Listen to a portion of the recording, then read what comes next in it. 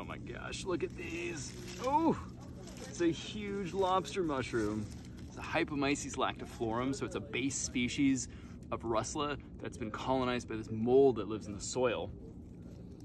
And it turns sort of a white, uninteresting mushroom into this massive, massive orangey red mushroom called a lobster mushroom.